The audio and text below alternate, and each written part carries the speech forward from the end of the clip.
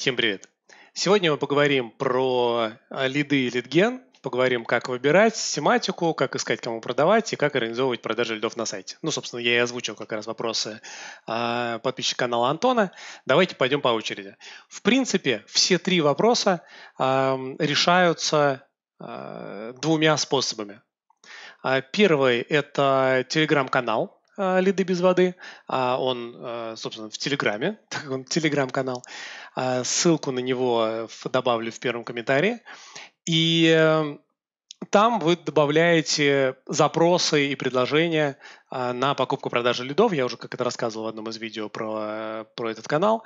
И вы же запрашиваете, то есть вот у вас, э, вы хотите выбрать тематику, заходите туда, смотрите, на что есть спрос, то есть там по хэштегу купить лиды, купить лиды или куплю лиды, э, и эм, смотрите, вот много на это спрашивают, хорошая стоимость лида, э, и делаете там сайт или делаете, настраиваете как-то рекламу под это, пробуйте продавать.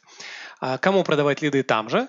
А, и по поводу того, как организовать продажу лидов на сайте, не такой простой вопрос, потому что он ну, и для нас непростой, потому что каждый раз нужен а, программист для того, чтобы это все организовывать. А, поэтому ну, есть как бы несколько способов. Первое, это вы находите программиста или фрилансера, который это все будет делать. второй, вы подключаетесь к системе, которая это будет организовывать. Такой системы раньше не было, сейчас мы ее сделали, называется DryLeads. тоже, ну, ссылку прикреплю, собственно, вот, вот она. Это ее главная страница. А, и эм, нажмете «Начать», подключаете, либо пишете свой запрос на покупку лидов, либо подключаете свою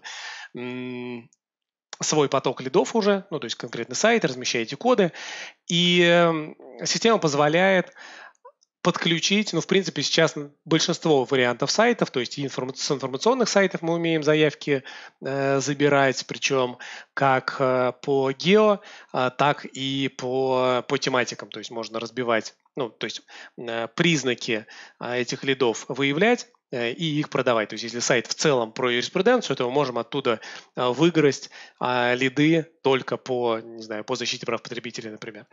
А, и по гео, то есть вы можете выкупать с этих больших сайтов только информационные. А, ну и продавать точно, точно так же. И можно делать там формы, там формы чатика есть, э, и можно номер телефона подмены вешать, вешать, если это не информационный, а коммерческий сайт, и в этой тематике много звонят. Вот какая-то такая история. Если вы без системы хотите это делать, то программист вам настраивает формы, чтобы они у вас отправлялись куда-то там на электронную почту или вам в Telegram, и там вы уже клиенту как-то это передаете.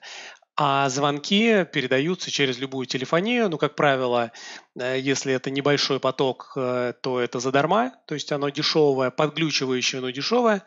А, и если это что-то посерьезнее, ну, то это ну, то есть поток чуть более большой, и вы не хотите или дорогие лиды, то и не вы хотите их терять, то э, берете какую-нибудь посерьезнее телефонию типа Vox Implant. То есть мы сейчас полностью перешли на Vox Implant, и ну, там, буквально пару номеров у нас на задарма только остались, ну, просто потому что по качеству не хватает нам его уже. А вот как-то так. То есть э, два основных способа. Ну и можете как-то в совсем в ручном режиме принимать на себя эти лиды, обрабатывать сами, ну, то есть звонки, там свой номер указывать. Но это, как правило, тупиковый путь. Как только у вас будет хотя бы больше там, 20 заявок в сутки, уже нереально с этим работать. Да и на единичных тоже.